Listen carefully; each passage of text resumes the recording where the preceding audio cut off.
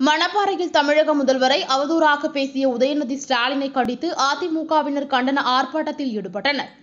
திருச்சி மாவட்டம் மணப்பாறை பேருந்து நிலையம் பெரியார் சிலை திடலில் திருச்சி புறநகர் தெற்கு மாவட்ட அதிமுக சார்பில் துணை ஒருங்கிணைப்பாளரும் தமிழக முதல்வருமான எடப்பாடி பழனிசாமியை தொடர்ந்து அவதூறாக பேசி வரும் திமுக உதயநிதி ஸ்டாலினை கண்டித்து மாபெரும் கண்டன ஆர்ப்பாட்டம் நடைபெற்றது.